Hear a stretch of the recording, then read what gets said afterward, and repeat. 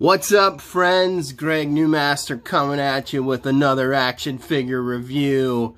Uh, today I have Star Wars The Vintage Collection 3.75 The Mandalorian action figure. I have been waiting for this guy since before Christmas when I found out that they weren't going to release any merchandise when the show came out, which is uh, kind of unusual because normally they have uh, uh, merchandise out before um, you know the movies would premiere at least. Um, I guess it's going to be different with the TV show.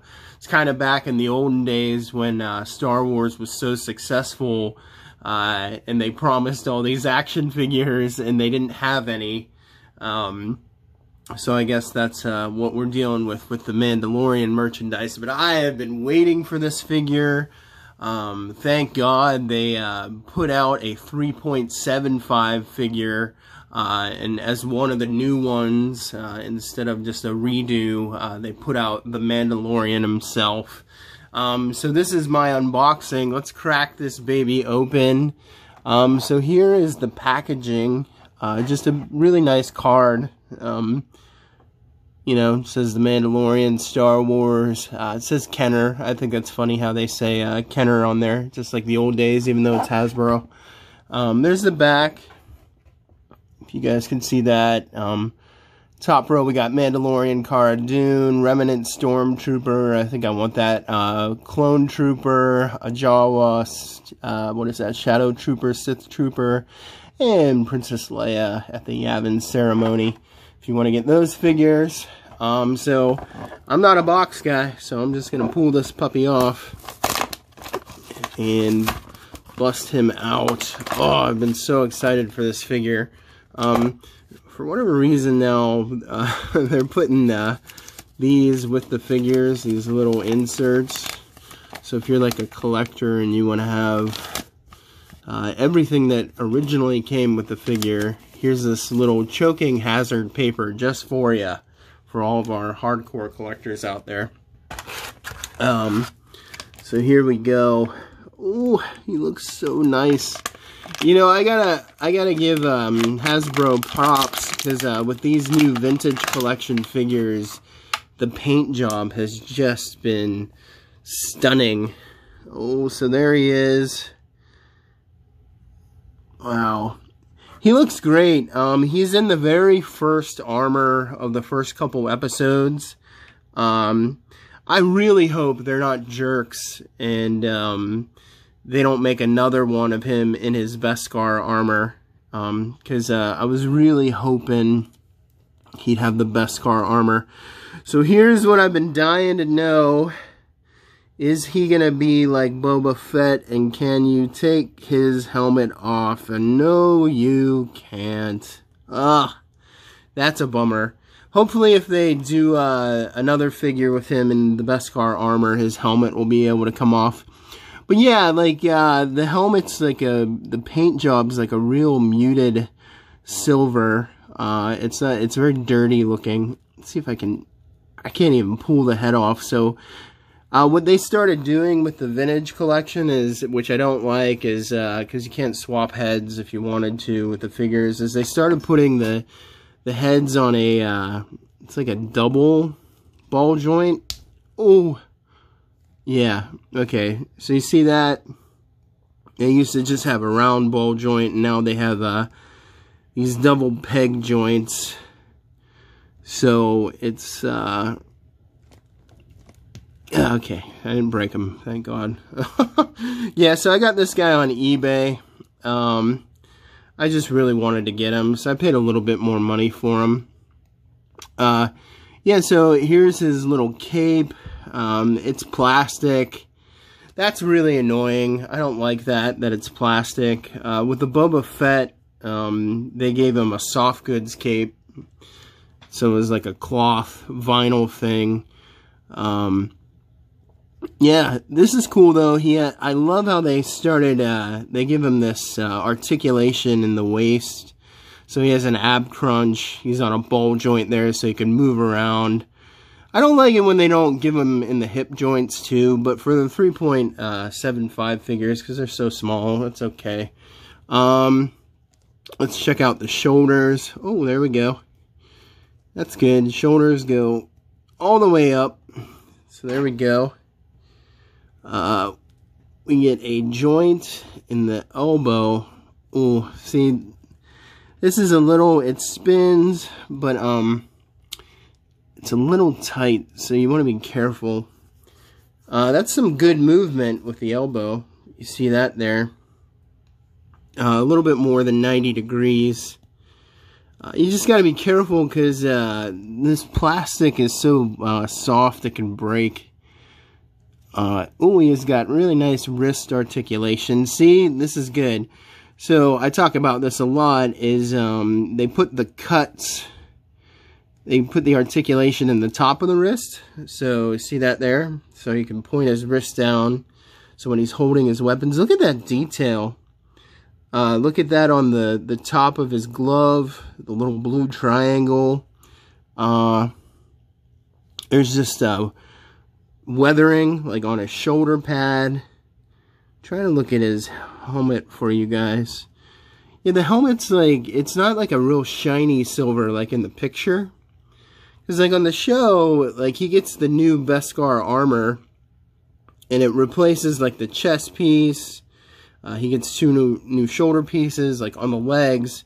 But he keeps his helmet, and his helmet's the same, and the helmet looks shinier.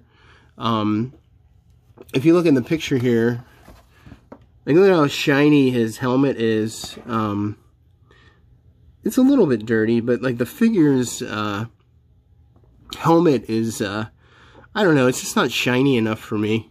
It doesn't really match the picture for me. So I guess I could have done a better job on that. Let's check out this leg articulation. I'm not fond of how they do the leg articulation with the Star Wars 3.75. Like you see these joints here, like in the butt. Like look at his butt and look at like his hips here.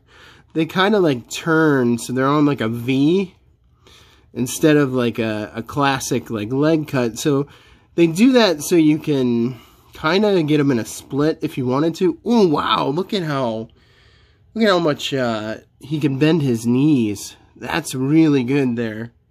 Um, that's really good because typically uh, the Star Wars figures, their knees don't bend. They only go 90 degrees. So that's a really nice bend. So I am digging this articulation for him, but I still don't like, I don't like this design here. They should just do, uh, as I said before, what the G.I. Joes do. Um, I mean, yes, there's going to be a little gap. So once again, look at Snake Eyes. Uh, look at his hips. So he has full leg movement.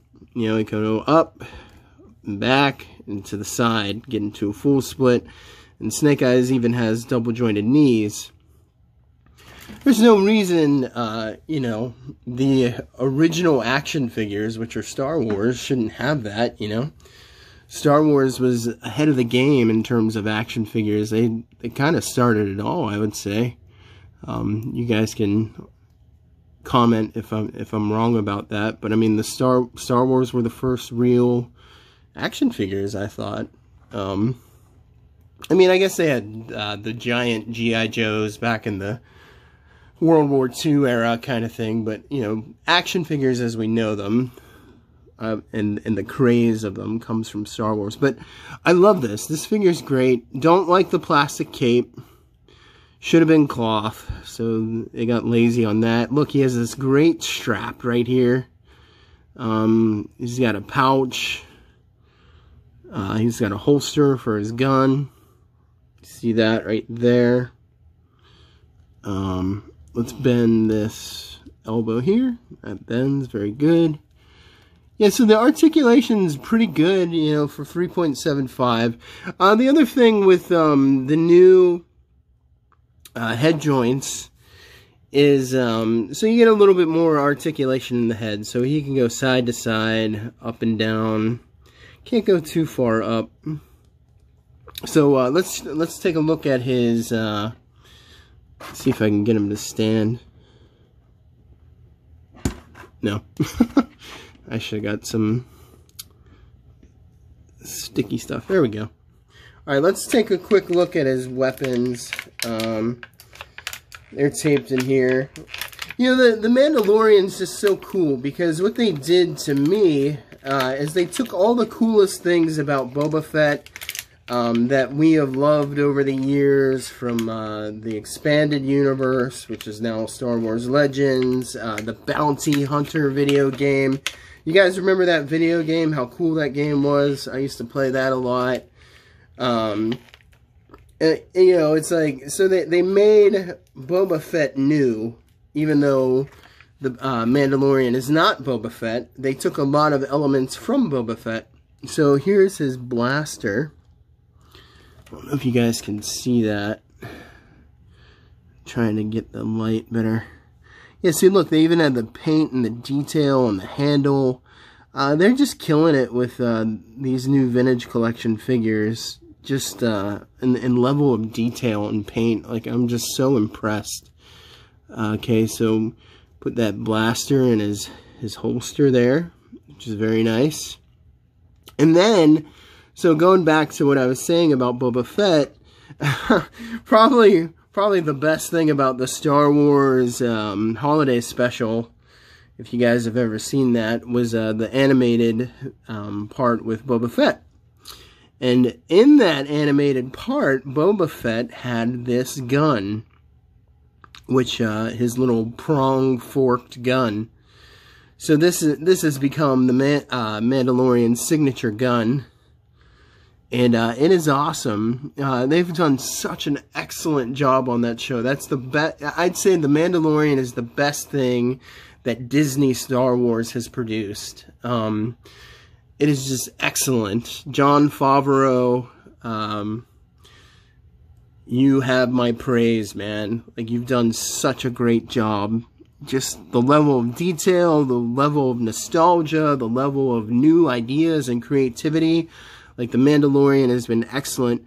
But yeah, just look at the paint on the gun. We have paint on the front. Like, it's painted this nice little silver. Um, they even have gold, like, uh, in the scope. The handle is brown. Um, there's a little peg right here, which I think, yeah, it can peg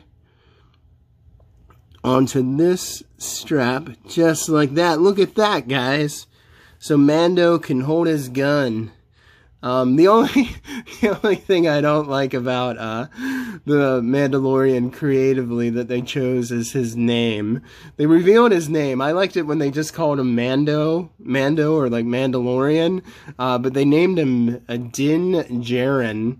Uh, I think that's what it is. It's such a stupid name. I mean, I guess Boba Fett isn't that much better, and, I probably just like it because I was a kid and I heard it, and I'm like, oh, Boba Fett, he's so cool. But uh, Din Djarin, um, played by the mighty Pedro Pascal from uh, Game of Thrones in the upcoming Wonder Woman movie, and I believe he was on Narcos as well. Um, but yeah, this is a great figure. I'm so excited to have it. I'm very pleased with it.